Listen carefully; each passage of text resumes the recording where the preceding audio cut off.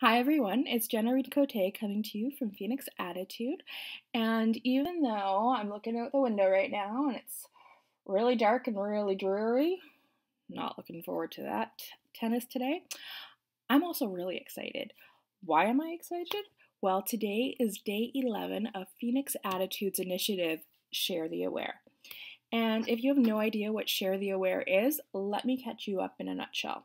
So on January 1st to January 31st, I have been and will be posting content on one particular condition a day.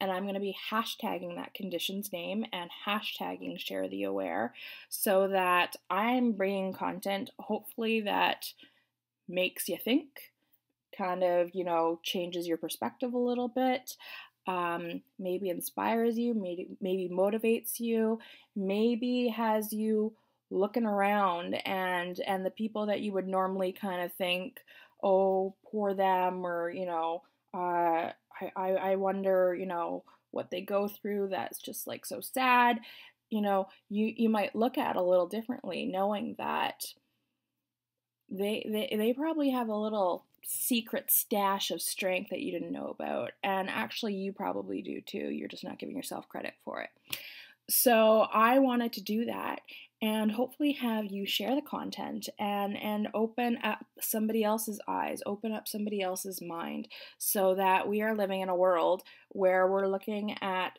people and looking for their strength and not their weaknesses.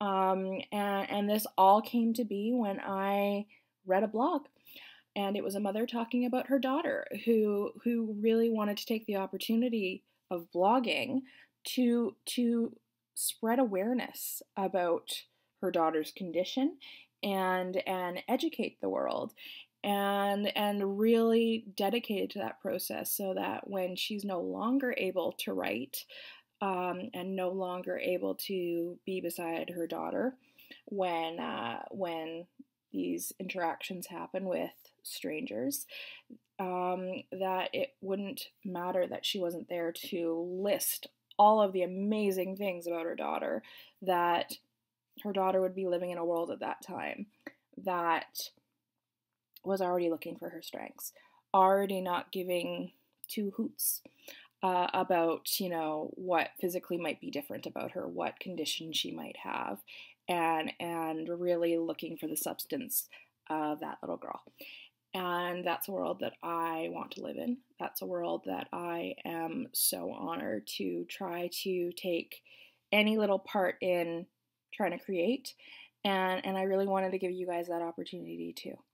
So go on to social media, search hashtag share the aware, see what I've been posting, see if it's anything new, anything interesting, anything inspiring or motivating or or something that you just didn't know before and and continue that sharing.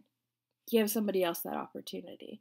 And then hopefully we'll have a lot of people who are looking for the strengths in those little girls with conditions who you know, are so resilient right now, but can get bogged down by society and society's view of them, um, all the way up to us old fogies, you know, who are 24 and, and still trying to navigate interactions with strangers when people keep on asking you, So, what happened to you? What's wrong with you?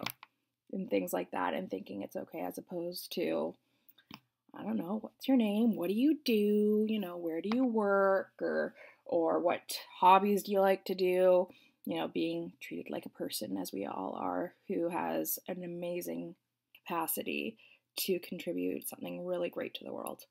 So share the aware and have a great day.